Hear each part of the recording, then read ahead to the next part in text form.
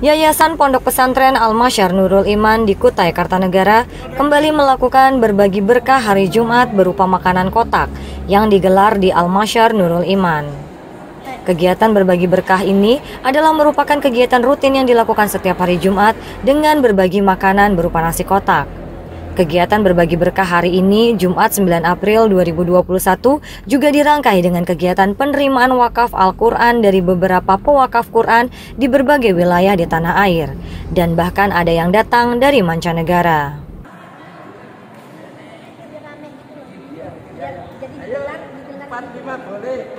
Habis ini makan, habis ini makan, ayo.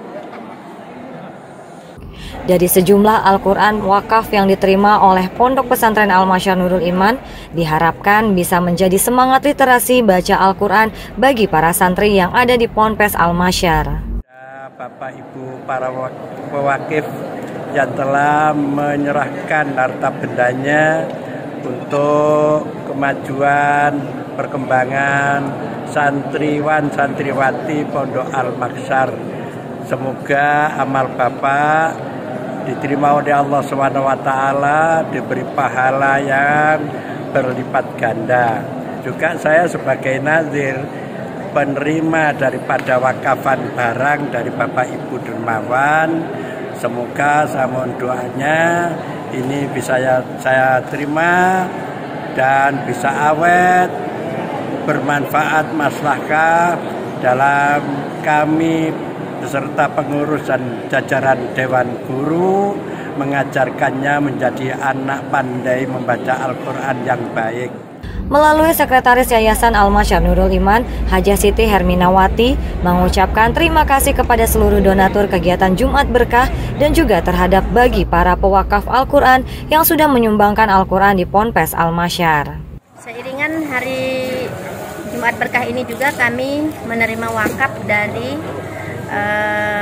wakaf Al-Quran dari beberapa wakaf yaitu dari The Oral Ballroom Singapura dan The Istana Ballroom Singapura yaitu dari Syekh Ahmad bin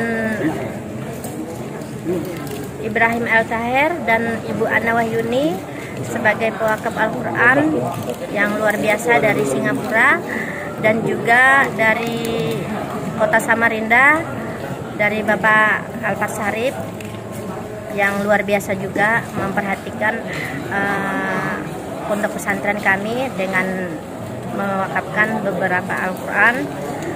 Dan juga dari Jakarta keluarga besar Bapak Sunan Sahbudi dan juga keluarga besar Erik dan Ibu Dila dan juga uh, banyak lagi uh, wakaf yang lain yang dari Australia Ibu Nilma beserta keluarganya juga mewakafkan Al-Quran di Pondok Al-Masar hari ini.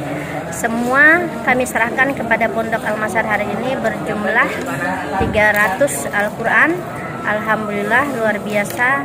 Kami bersyukur dan terima kasih kepada seluruh yang telah mewakafkan Al-Quran ini kepada Pondok Al-Masar Nurul Iman.